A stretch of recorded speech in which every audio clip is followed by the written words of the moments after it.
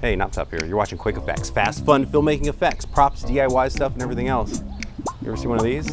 It's a rubber band. Check out this trick. Hang on, hang on, I got it. There it was, huh?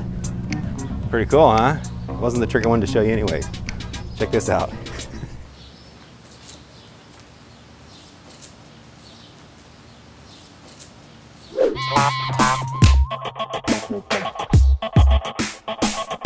External monitors, mics, and things like that can be really convenient when you're shooting with DSLRs. The thing is, these cords, these are your weak points because if something grabs this or snags it, this camera is going down.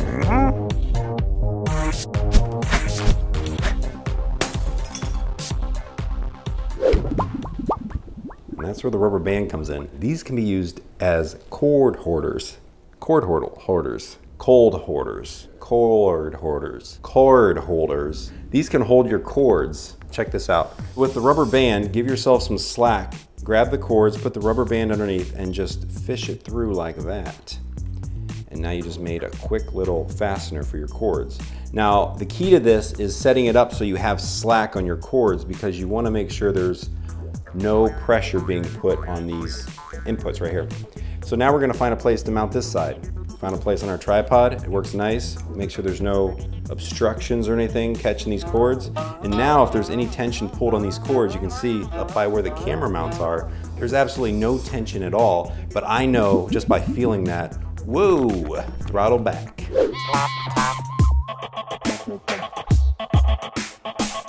And that keeps the camera safe, keeps your plug safe, and it's a rubber band. Now the cool thing about this is it doesn't just work with cameras, it works with any cord that you want to secure. Like here's our light stand that we're using to light this scene, and you can see this would be a weak point. So we just get, our little rubber band here.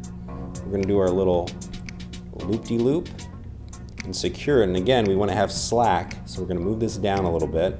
We're gonna pull it up, wrap it around this first little hook here. And now we have slack and there's no pressure on the actual inlet on the plug. Now you can use all kinds of rubber bands like these. They'll all work for this trick, but let's take a look here. Ooh, here's one, here's a juicy one. There we go. These wider ones work a lot better because the edges grip the cords a lot better, but they'll all work. Anyways, there you go, quick effects, Knoptop. Go make something.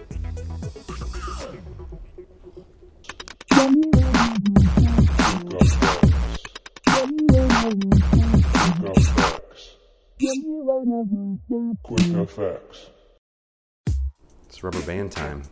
These little rubber bands can be easily used as cord hoarders.